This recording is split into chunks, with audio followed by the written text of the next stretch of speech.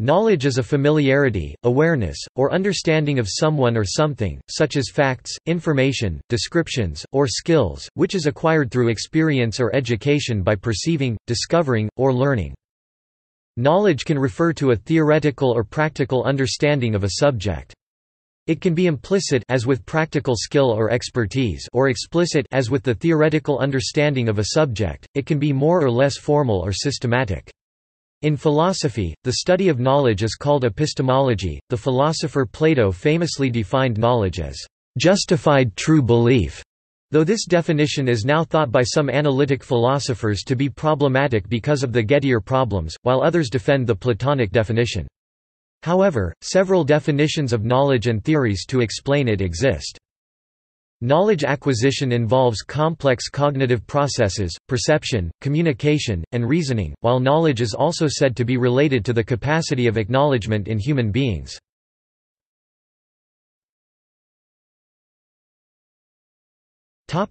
Theories of knowledge The eventual demarcation of philosophy from science was made possible by the notion that philosophy's core was theory of knowledge, a theory distinct from the sciences because it was their foundation. Without this idea of a theory of knowledge, it is hard to imagine what philosophy could have been in the age of modern science.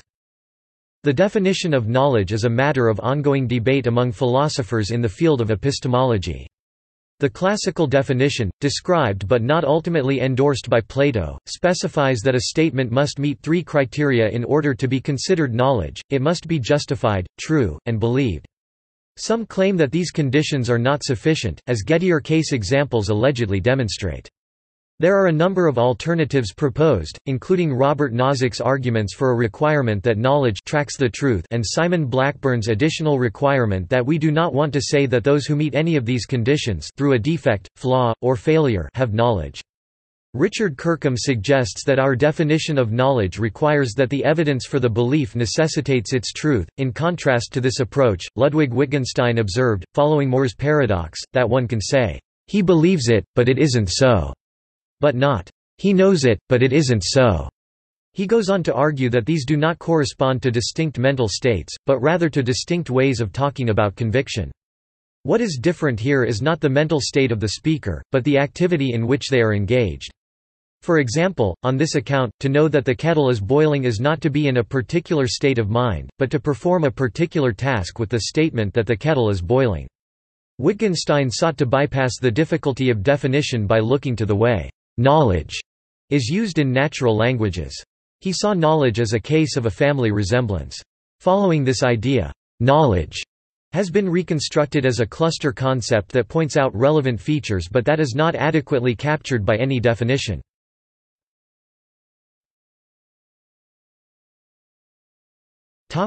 Communicating knowledge Symbolic representations can be used to indicate meaning and can be thought of as a dynamic process. Hence the transfer of the symbolic representation can be viewed as one ascription process whereby knowledge can be transferred. Other forms of communication include observation and imitation, verbal exchange, and audio and video recordings. Philosophers of language and semioticians construct and analyze theories of knowledge transfer or communication. While many would agree that one of the most universal and significant tools for the transfer of knowledge is writing and reading of many kinds, argument over the usefulness of the written word exists nonetheless, with some scholars skeptical of its impact on societies. In his collection of essays Technopoly, Neil Postman demonstrates the argument against the use of writing through an excerpt from Plato's work Phaedrus Postman, Neil 1992 Technopoly, Vintage, New York, pp 73. In this excerpt, the scholar Socrates recounts the story of Thamus, the Egyptian king and Theuth the inventor of the written word. In this story, Theuth presents his new invention, writing, to King Thamus, telling Thamus that his new invention will improve both the wisdom and memory of the Egyptians. Postman, Neil 1992 Technopoly, Vintage, New York, p. 74. King Thamus is skeptical of this new invention and rejects it as a tool of recollection rather than retained knowledge. He argues that the written word will infect the Egyptian people with fake knowledge as they will be able to attain facts and stories from an external source and will no longer be forced to mentally retain large quantities of knowledge themselves Postman, Neil 1992, Technopoly, Vintage, New York, p. 74. Classical early modern theories of knowledge, especially those advancing the influential empiricism of the philosopher John Locke, were based implicitly or explicitly on a model of the mind which likened ideas to words. This analogy between language and thought laid the foundation for a graphic conception of knowledge in which the mind was treated as a table, a container of content, that had to be stocked with facts reduced to letters, numbers or symbols. This created a situation in which the spatial alignment of words on the page carried great cognitive weight, so much so that educators paid very close attention to the visual structure of information on the page and in notebooks. Major libraries today can have millions of books of knowledge in addition to works of fiction. It is only recently that audio and video technology for recording knowledge have become available and the use of these still requires replay equipment and electricity. Verbal teaching and handing down of knowledge is limited to those who would have contact with the transmitter or someone who could interpret written work. Writing is still the most available and most universal of all forms of recording and transmitting knowledge. It stands unchallenged as mankind's primary technology of knowledge transfer down through the ages and to all cultures and languages of the world.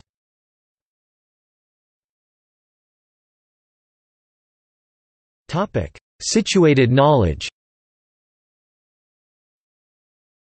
Situated knowledge is knowledge specific to a particular situation. It is a term coined by Donna Haraway as an extension of the feminist approaches of successor science Suggested by Sandra Harding, one which offers a more adequate, richer, better account of a world, in order to live in it well and in critical, reflexive relation to our own as well as others' practices of domination and the unequal parts of privilege and oppression that makes up all positions." This situation partially transforms science into a narrative, which Arturo Escobar explains as, "...neither fictions nor supposed facts." This narrative of situation is historical textures woven of fact and fiction, and as Escobar explains further, "...even the most neutral scientific domains are narratives in this sense."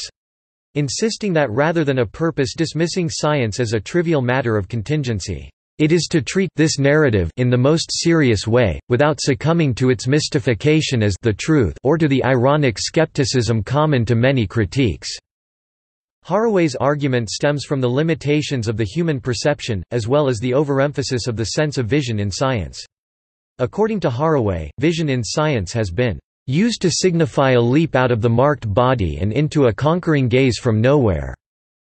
This is the gaze that mythically inscribes all the marked bodies, that makes the unmarked category claim the power to see and not be seen, to represent while escaping representation. This causes a limitation of views in the position of science itself as a potential player in the creation of knowledge, resulting in a position of modest witness. This is what Haraway terms a God trick, or the aforementioned representation while escaping representation. In order to avoid this, Haraway perpetuates a tradition of thought which emphasizes the importance of the subject in terms of both ethical and political accountability. Some methods of generating knowledge, such as trial and error, or learning from experience, tend to create highly situational knowledge. One of the main attributes of the scientific method is that the theories it generates are much less situational than knowledge gained by other methods. Situational knowledge is often embedded in language, culture, or traditions. This integration of situational knowledge is an allusion to the community, and its attempts at collecting subjective perspectives into an embodiment of views from somewhere. Knowledge generated through experience is called knowledge a posteriori, meaning afterwards. The pure existence of a term like a posteriori means this also has a counterpart. In this case, that is knowledge a priori, meaning before. The knowledge prior to any experience means that there are certain assumptions that one takes for granted. For example, if you are being told about a chair, it is clear to you that the chair is in space, that it is 3D. This knowledge is not knowledge that one can forget, Even someone suffering from amnesia experiences the world in 3D. Even though Haraway's arguments are largely based on feminist studies, this idea of different worlds, as well as the skeptic stance of situated knowledge, is present in the main arguments of post structuralism. Fundamentally, both argue the contingency of knowledge on the presence of history, power, and geography, as well as the rejection of universal rules or laws or elementary structures, and the idea of power as an inherited trait of objectification.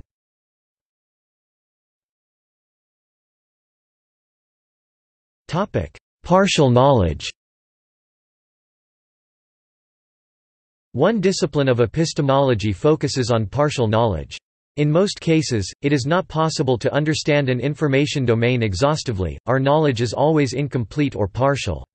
Most real problems have to be solved by taking advantage of a partial understanding of the problem context and problem data, unlike the typical math problems one might solve at school, where all data is given and one is given a complete understanding of formulas necessary to solve them. This idea is also present in the concept of bounded rationality, which assumes that in real life situations people often have a limited amount of information and make decisions accordingly.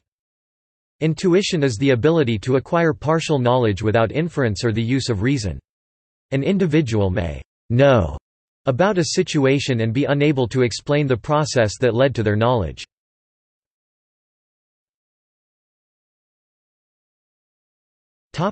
Scientific knowledge The development of the scientific method has made a significant contribution to how knowledge of the physical world and its phenomena is acquired.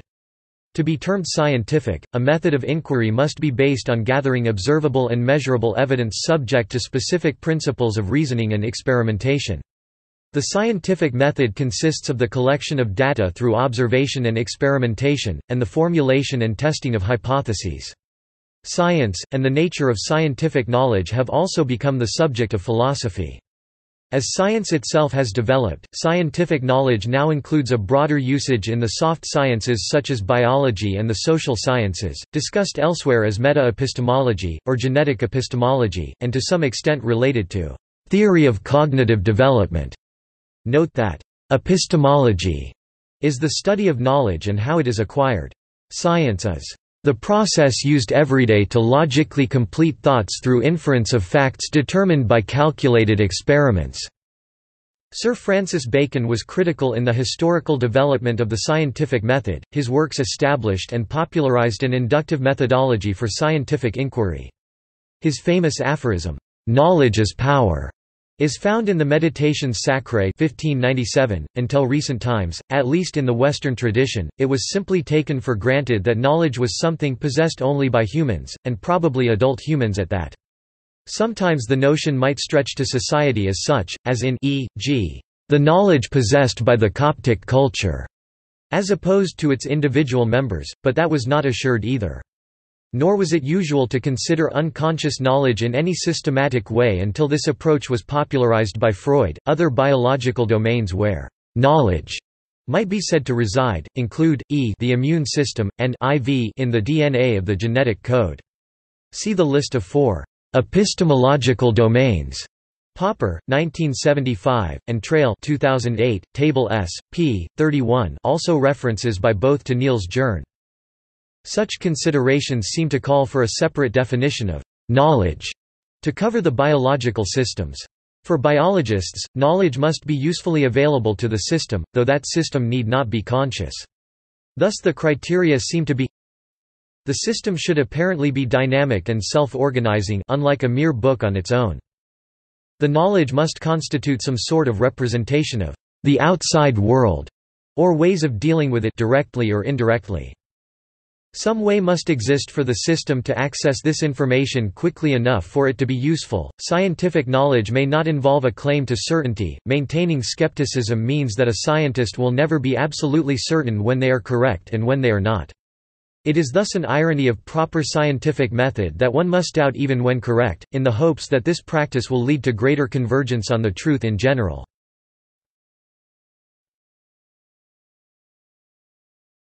Topic: Religious meaning of knowledge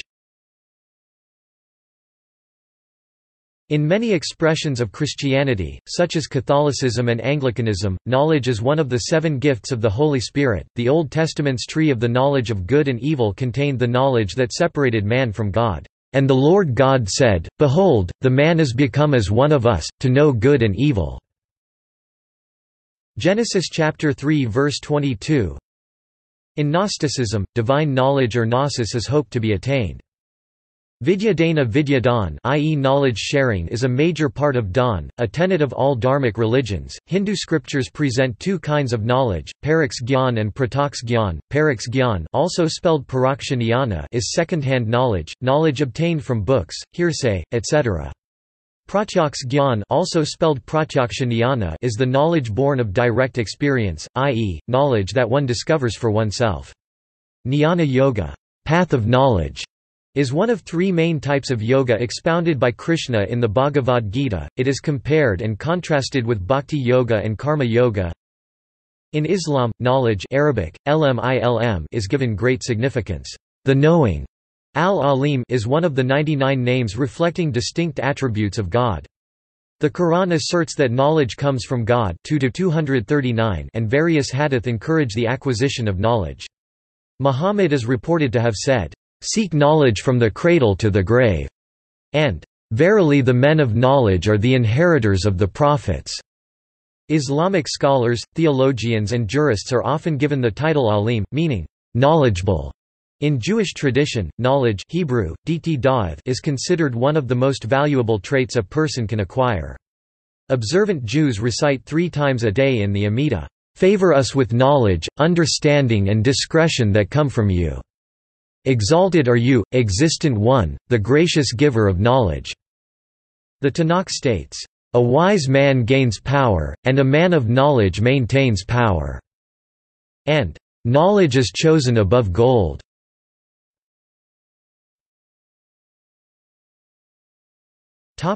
As a measure of religiosity in sociology of religion.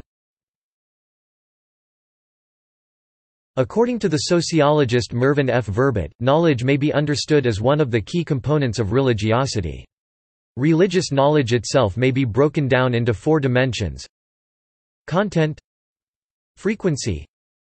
Intensity Centralitized content of one's religious knowledge may vary from person to person, as will the degree to which it may occupy the person's mind frequency, the intensity of the knowledge, and the centrality of the information in that religious tradition, or to that individual.